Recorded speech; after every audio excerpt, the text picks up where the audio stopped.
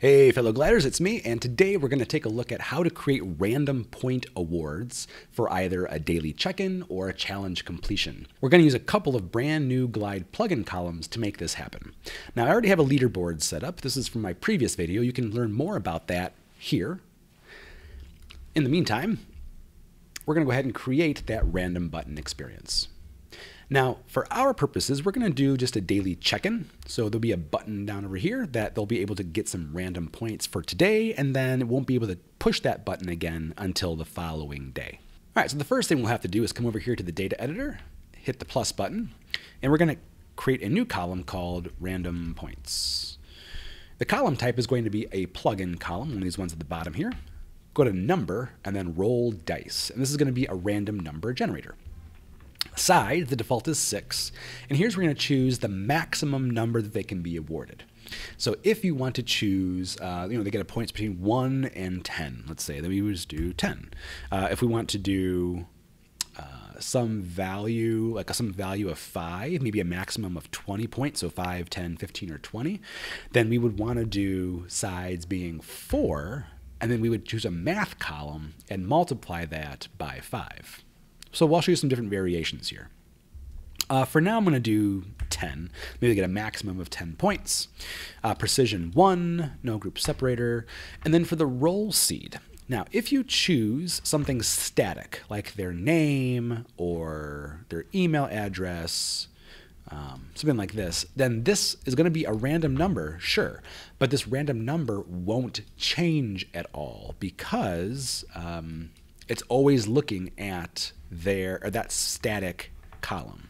So we need to point this value to something random, something unique. And so here's the trick to get a random value for this person, for this row every time, is instead of choosing that static value for the roll seed, choose a unique value here. And if I choose a unique value and then hit done, you see that it changes whenever I um, create a new column or if I were to back out and back into it again. Okay, um, if I were to refresh the screen, you'll see that this becomes a, ran, a truly random value. All right, so this is between 1 and 10. Um, and here's where you can kind of play around with figuring out your boundaries, your minimum and your maximum, right? Maybe you only want the values from 5 to 10. So they get a minimum value of 5 and a maximum of 10. Well, with this ro uh, roll dice, you know, you don't get to set the lower boundary. You only get to set the upper boundary. So we would need to create another column in tandem to this. So I could call this a lower boundary. And here's where we'll use a uh, plugin number clamp column. And this will allow you to set the lower and upper bounds of that random value. So for the number, this will be the uh, random points. That's the one coming in. And then for the lower bound, I'll set it to 5, precision 1. Uh, upper bound, I'll just make it the random points. There we go. Okay. So random points and then upper bound, I'll make it the same thing, the random points. And now you see I have my upper bound. So this was a 4, but it got raised to a 5 because 5 was my lowest value. Right? Again, if I give this a refresh, uh, you'll see that my numbers have changed.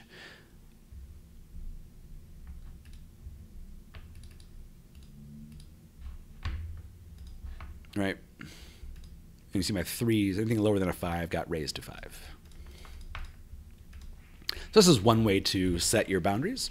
Uh, you, again, you could also, if I were to delete that lower boundary and change my random numbers from one to four, or actually let's do um, one to five. Okay, get this random value from one to five, and I can call this a multiplier. So like a times five multiplier. This be a math column where I'll take the number, so random, uh, times 5. right, so they'll get awarded 20 points rather than 4 points. So just based upon your gamification system, pick which sort of point value makes sense for you. All right, now we need to be able to award these points to the person and prevent them from doing it multiple times.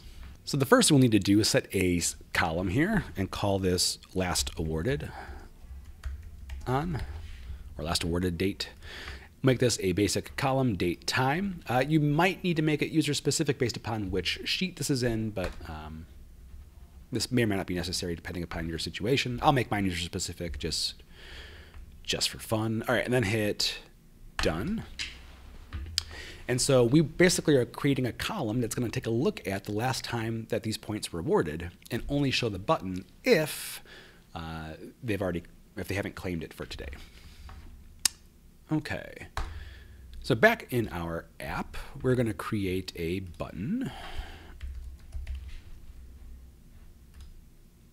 And we'll call this uh, um, daily daily reward or claim your daily reward.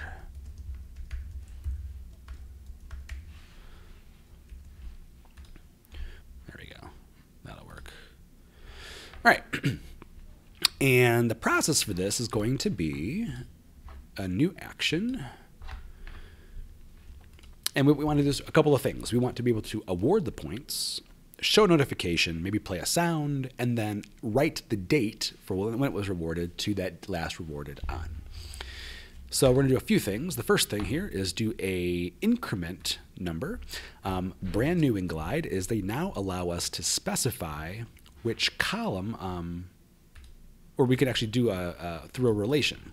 Now, luckily, we're already in the sheet that we need it to be. But if you're working in another sheet where we have these random values happening and you want to award it to the user sheet, uh, you can just create a relation to the user sheet and then you can do this increment number through the relation. But in my case, it's just this item. I'm going to increase the points by that times 5 multiplier. Okay.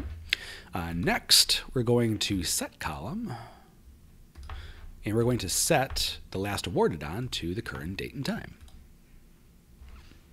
There we go. Uh, we'll play a sound, and we'll show notification.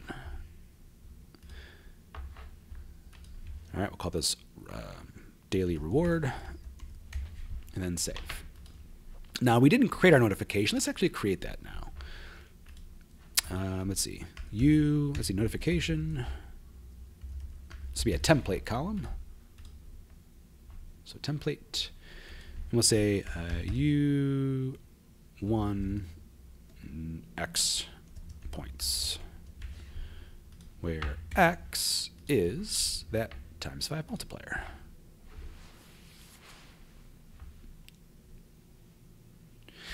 Now, this may work. Um, I have seen in the past in Glide where the random value that gets generated changes when the notification appears. So they get awarded one thing, but it shows that they won something else. So we'll test this out a couple of times to make sure that's working. If it's not, I have a workaround. So let's see. Done. Let's go back to our action here on our button and set our notification to be that notification. Save. All right, so I have 54 points. I'm going to claim my reward. Let's see.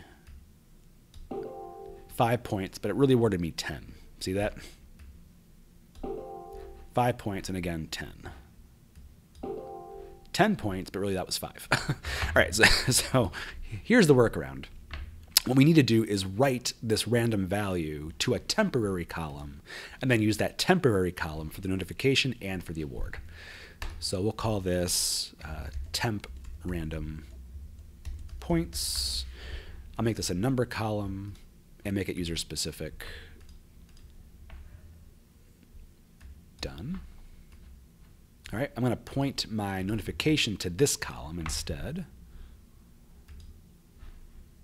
Done. And then, as part of the button, before I do my increment number, I'm going to do my set column values. So I'm going to bring my set column values to the top.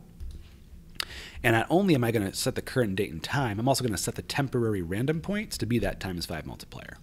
So that random 5 time multiplier gets set to that user specific column, and then I'm using uh, the increment number to be the temp random points.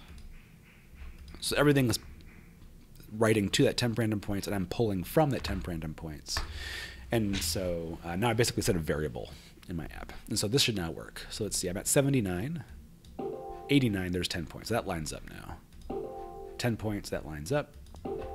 15, okay, so that's working now. Great. All right, now the last thing here is to hide this button if they've already claimed their points. So um, I'm going to click on this button, do Options, Visibility, and we're going to only show this when last awarded on is empty, means they haven't claimed anything yet, uh, or if the last awarded on is before today.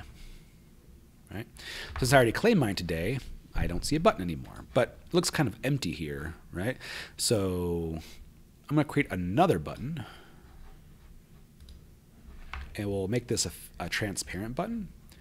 And we'll say, uh, check back tomorrow. Uh, the action will just be a uh, shuffle order, which does nothing, right? That's this button that says check back tomorrow. So let's test this for a different user. I'm going to switch to person five. All right, so person five right now is has 20 points. And if I claim my daily reward, then their point value should increase and prevent me from pushing the button again. So they're at 20 points. I won 10 points. I'm now at 20. Oh, sorry. Uh, now I'm at 30 points, right? So 30 points, and they've increased in the leaderboard. So now they're in second place, and I have to check back tomorrow. All right, so let's be person four. Person four has 23 points. I'm going to claim my reward. 15 points. Now they're back in second place with 38 points, and they have to check back tomorrow. So if we want to test that out, let's pretend it's tomorrow. So let's say the last awarded on was yesterday. Let's change this to 28 right? And now we see that they can claim their daily reward because the last time that they checked in was yesterday.